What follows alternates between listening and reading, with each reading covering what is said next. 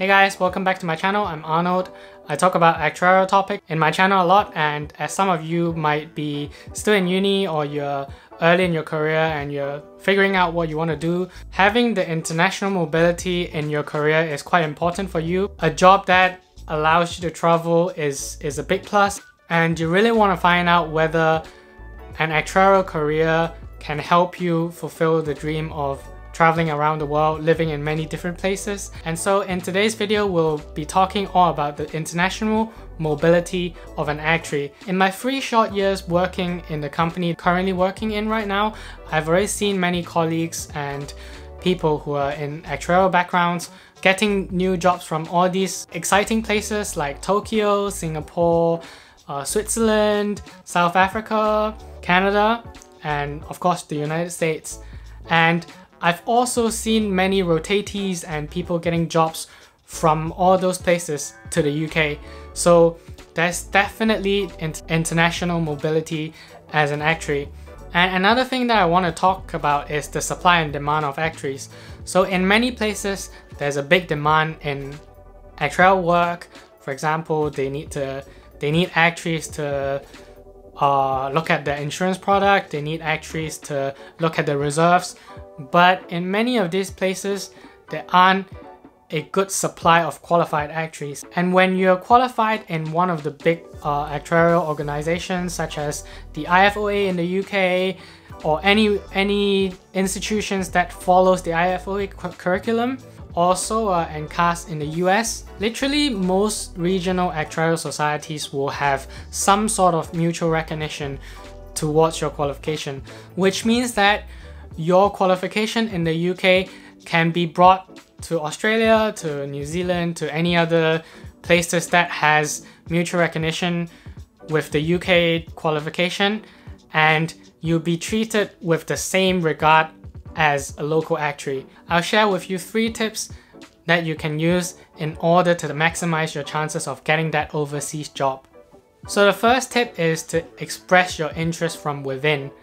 Many countries operate in multiple locations in the globe and their teams are actually not operating in silo but often they talk together, they work with each other. So for example, in my company, I have to constantly work with people from Zurich, from Canada, and from other different locations. And through that, you establish working relationship with the team in that place. And the actuarial profession is kind of fluid. There's a lot of turnover within the company, so within a given year, there's always going to be at least one or two hirings in the sort of job level that you're looking at.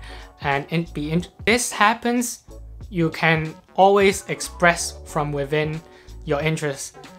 You can tell your manager that you want to have a change in environment. You can speak to the team that you work with that you really want to go. For example, if you want to go to Australia, you can probably reach out for them for, for virtual coffee and talk about your work, talk about their work.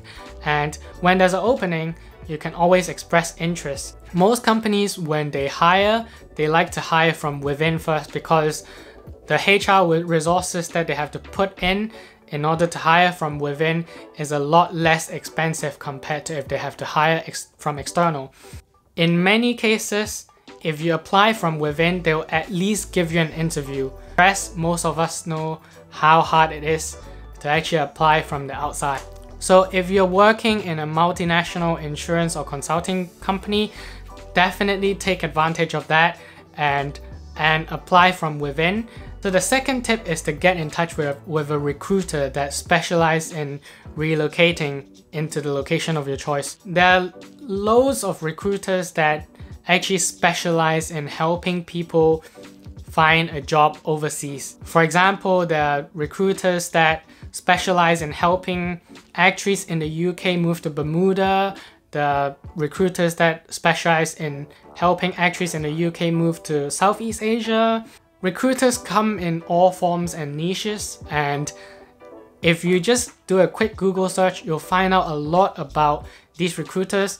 Not only can they tell you about the job openings that you want to find in, in the location of your choice, but they can also give you salary data to benchmark uh, your salary against the salary average of that location, you can get uh, data of, for example, the working hours, the working culture, uh, how fast do you get promoted in the location that you want to go to? Are there any exit opportunities and how can you come back?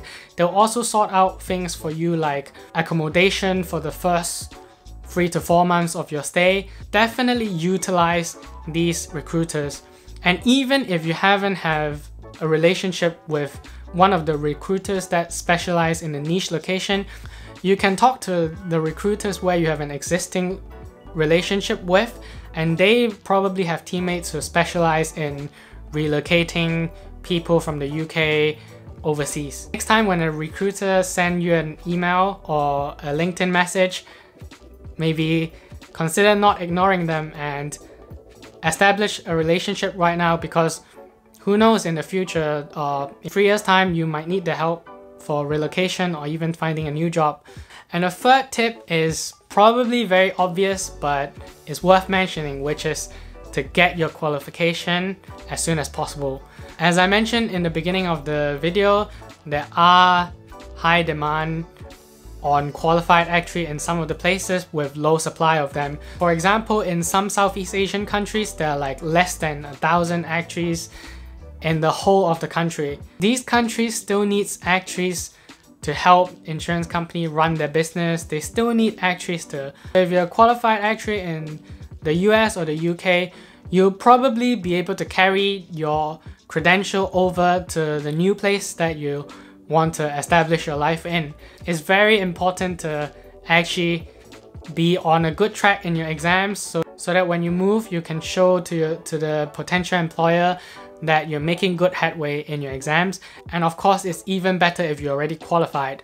In today's video, I talked about the international mobility of an actuary as well as three tips where you can take advantage of the international mobility of an actuary to get your overseas job.